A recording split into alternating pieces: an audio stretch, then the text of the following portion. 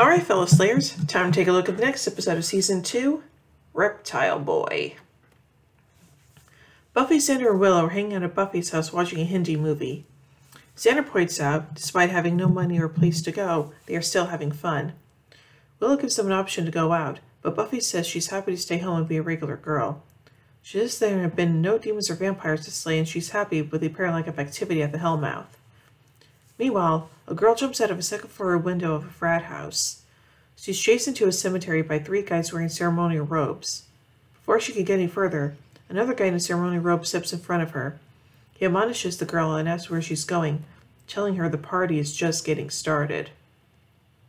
The next day at school, Cordelia is talking to one of her friends about laughing uproariously at anything that a guy might say and to always maintain eye contact.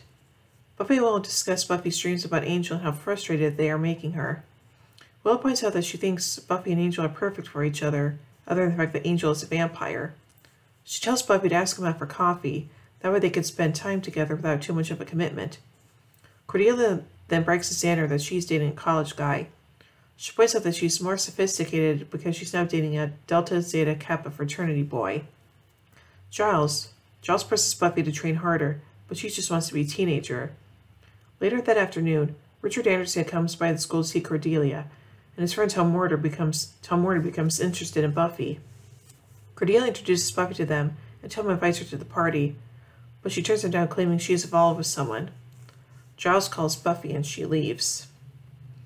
At night during patrol, Buffy encounters Angel. He smells blood in a bracelet Buffy finds on the ground. When Buffy asks Angel about getting coffee, Angel tells Buffy that their age difference is a problem and that she does not know what she wants in life. She runs off. At school, Buffy agrees to go to the go to the frat party with Cordelia. Later that night, Giles Will discover that the bracelet is from Kent Preparatory School, just outside of Sunnydale. Several girls have gone missing over the past few years, which is located near where Buffy is partying. Angel appears at the library and asks about Buffy. Willow then, reveal, Willow then reveals to them that Buffy is at, is at a party. They question Buffy's reason for lying to them, and Willow yells at them. Ripper and Giles are pushing her too hard, and for an, an Angel for stringing Buffy along and not, making time for her. They rush off to help, to help Buffy and Cordelia. At the party, Buffy notices immature behavior by drunken frat guys. Xander sneaked in to protect Buffy, the other party goers recognize him for a crasher. The person put on women's the person puts on women's clothing and dance. Meanwhile, Buffy decides to accept a drink after Tom calls her too mature. Buffy then stumbles her way up to a bedroom to lie down and is soon unconscious. Richard comes in and starts touching her until Tom pulls him off, saying that the girls are not for him, but for the one they serve. Cordelia, meanwhile, is lying unconscious in the same room. When the girls wake up, the vandals are chained in the basement as an offering for a demon named, Machi- named, named Machida, along with Callie, the girl who tried to escape from the frat house. Cordelia is chosen to be the first victim, but Buffy distracts the demon and breaks out of her chains just in time. Willow, Angel, and Giles head to the frat party meet up with Xander. They enter the house and beat up the frat guys. Willow realizes the girls are in the basement, and they enter as Tom and Buffy fight. Buffy gets the sword and cuts the demon in half, and the frat guys are arrested. Though Giles is still entirely happy that Buffy lied to him, he realizes he's been pushing Buffy too hard and promises to take it easy on her from now on. Afterward, everyone gathers at the Bronze, where Cordelia changed her stance now advocating dating younger men. Holding a newspaper, Xander reveals that the Delta Zeta Kappas have been sentenced to consecutive life sentences and that the bodies of past victims, dating back 50 years, have been found. Additionally, many corporations founded by former Delta Zetas have suffered because of the fraternity's inability to feed Machida. At that moment, Angel appears and asks if Buffy would like to get coffee with him sometime. She agrees and says she'll let him know. Aww. So now let's take a look at some continuity surrounding this episode. The term patrolling is first used in this episode. Prior to this, Buffy's graveyard exploits are referred to as hunting. Furthermore, this is the first time that she patrols with no specific purpose. From this point on, she will patrol nightly. This episode has Cordelia reiterate her belief that older boys are the ones she wants to date, as first mentioned in The Harvest. Cordelia teases Xander by saying, You could belong to a fraternity of rich and powerful men in the bizarro world. In The Wish, Cordelia refers to the Wishverse as bizarro world. Giles asks Buffy how many people her age can say that they have a purpose, a commitment in life. Although she answers none, five years later in the episode Potential, she says similar thing to, to the Potential Slayers. And although most people have no idea why they exist, the Potentials do. They have a mission, a reason for being here. But Vic Cordelia once again find themselves targeted together by demons in Homecoming.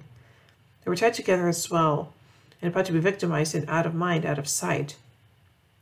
A similar worshipping scenario is seen in Help, when another group of young men attempt to sacrifice the girl to the demon Avilas to improve their success in life. Buffy agrees to have coffee with Angel, marking the beginning of their formal dating relationship. They will ultimately break up one year later in the episode The Prom. So now let's take a look at some production notes. Jeffrey Grewal says that he wrote the episode that when he wrote the episode, he thought that, that he had a great invented a great demon name, Machida. He later realizes that Makita was the brand name of, of some equipment, some equipment used on the, used on the show. Makita is also the name of a city in Japan. In the featurette, A Buffy Bestiary, Marti Noxon acknowledged the phallic imagery in this episode and confessed, yes, it is a metaphor. Robert Atkin Downes, the actor who plays Machida in, the, in this episode, returns an angel to portray an, to portray an unidentified Pokelight demon in the episode Dead End. Hmm.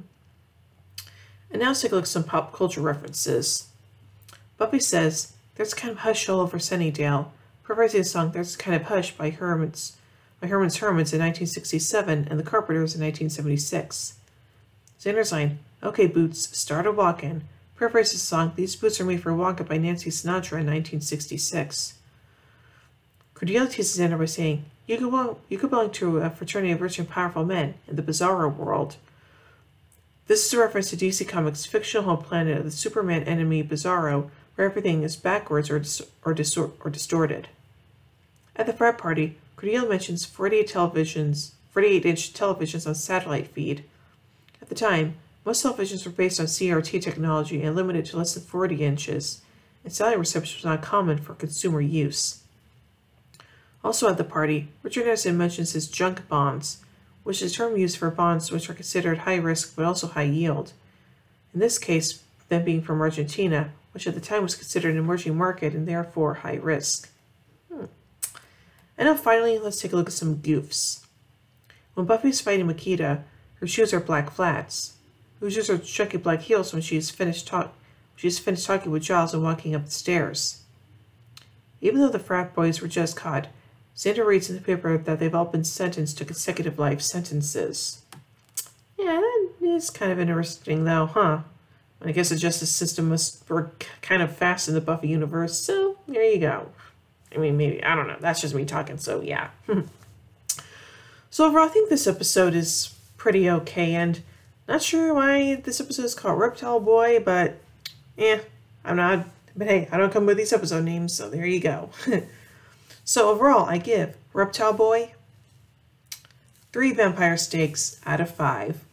But anyway, tune in a bit as we take a look at the final episode of the day, Halloween.